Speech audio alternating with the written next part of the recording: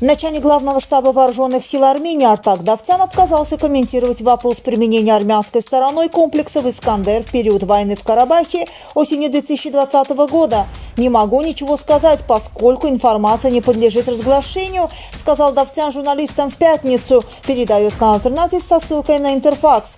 Отметим, что азербайджанское агентство по разминированию территории Анама в пятницу представило в Баку обломки с ракет «Искандер», обнаруженных 15 марта в Карабахе. Начальник оперативного штаба агентства Идрис Исмайлов сообщил, что обломки ракет «Искандер», выпущенных вооруженными силами Армении, были обнаружены в двух местах в направлении города Шуша.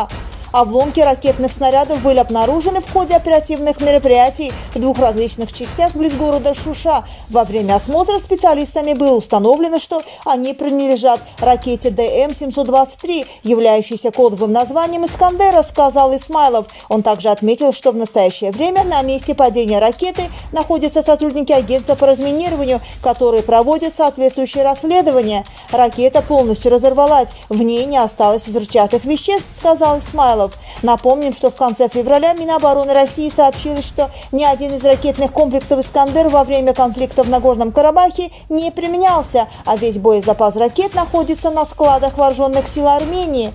Осенью прошлого года в Баку заявляли о применении армянскими силами во время конфликта в Нагорном Карабахе оперативно-тактического ракетного комплекса «У», предшественника комплекса «Искандер-М». Согласно информации Интерфакса, Армения ранее получила экспортный вариант российского оперативного тактического ракетного комплекса «Искандер-М».